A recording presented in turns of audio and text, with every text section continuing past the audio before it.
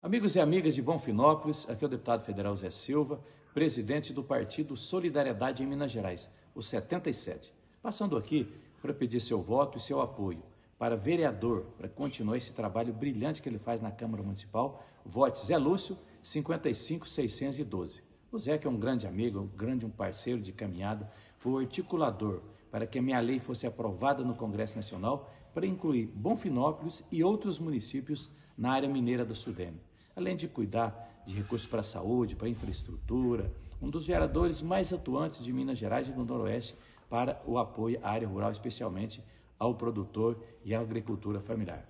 Portanto, para esse trabalho brilhante continuar, para vereador Zé Lúcio, 55612. E para prefeito, Manuel do Lima, vice-Fernanda, voto 77, vamos juntos.